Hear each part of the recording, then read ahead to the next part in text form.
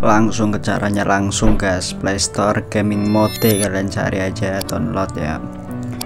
Ini real cuy gaming mode kalian cari.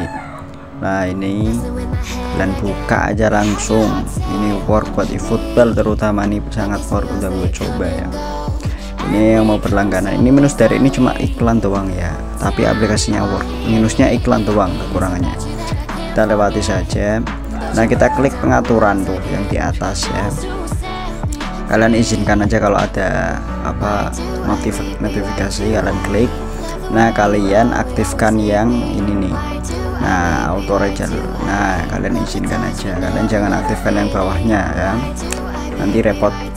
Nah cukup itu aja. Yang lain jangan diubah-ubah karena itu sangat penting untuk menghindari apa lag-lag ya.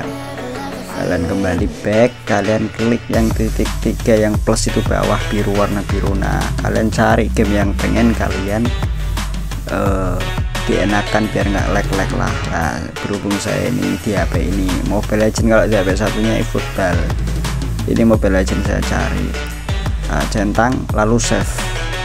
Nah lalu aktifkan tuh.